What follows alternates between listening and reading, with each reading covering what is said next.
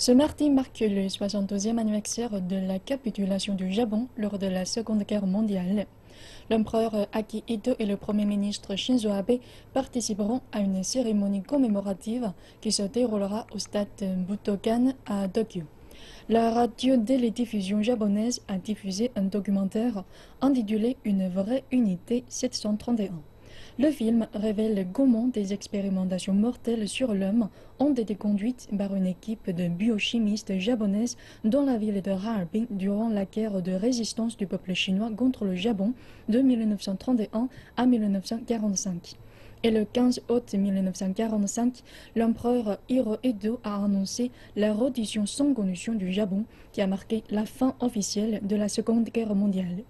Selon une étude menée par l'Université d'Hawaï, durant la guerre, l'armée japonaise a tué de 8 à 10 millions de personnes, utilisé le travail forcé d'un grand nombre de personnes et obligé des milliers de femmes à servir en tant qu'esclaves sexuelles. La majorité des victimes venaient de la Chine, des Corées, de la Malaisie et de l'Indonésie.